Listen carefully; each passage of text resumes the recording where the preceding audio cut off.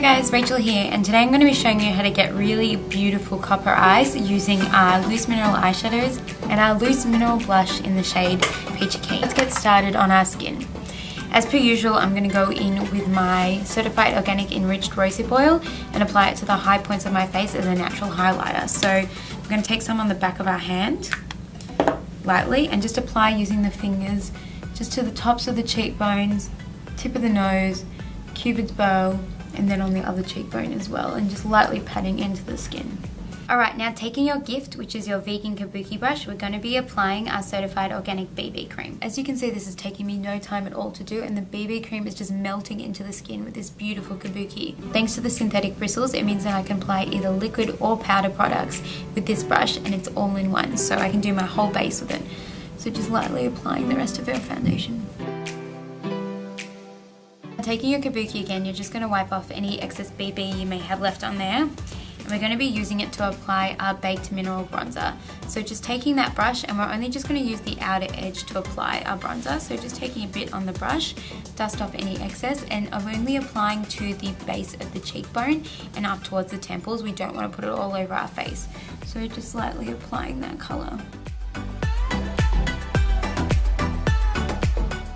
Alright, now taking your essential blush, your loose mineral blush in Peachy Keen, we're going to be applying this to the cheeks using our kabuki brush again. This literally can do all of your makeup in one. So tapping the tiniest bit into the lid, this colour is super pigmented.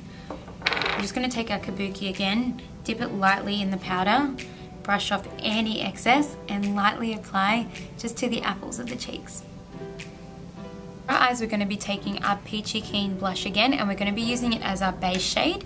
To apply, we're going to be using our fluffy blending brush. So tapping a tiny bit into the lid. We're going to take this colour over the lid, up on the crease and then under the eye as well. So I'm just going to lightly apply that one. Just use back and forth windscreen wiper motions to really set that colour.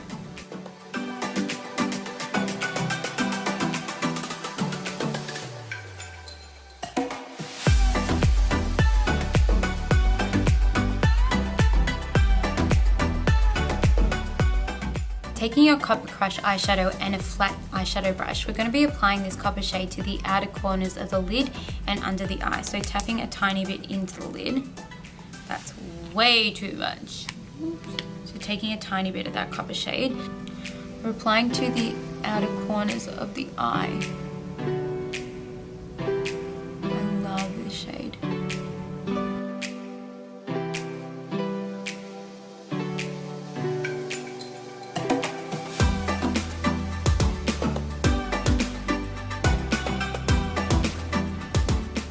Your eyeshadow brush and just dust off any excess of that Copper Crush eyeshadow. We're going to be using our Peach Fetish eyeshadow as the shade for the middle to the inner corner of the lid.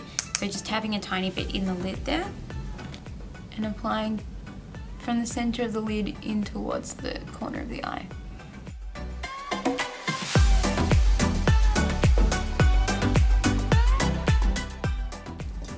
Now using your finger, just blend those two shimmer shades together.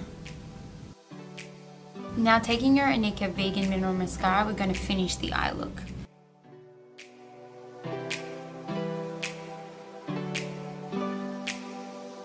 finish our base, we're going to be using our Peach Fetish eyeshadow again as a highlighter and this will create the most beautiful glow.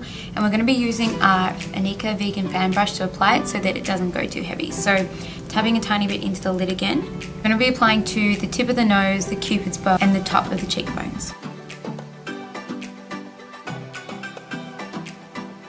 So to finish the look, we're going to be using our Sheer Peach Certified Organic Vegan Lipstick, and this is a beautiful shimmer peach shade to tie our look all together. So just taking a little bit of that on the lids. So this is the finished look. I hope you liked it. If you did, please let us know below. Otherwise, I'll see you next time for our next look. Bye guys.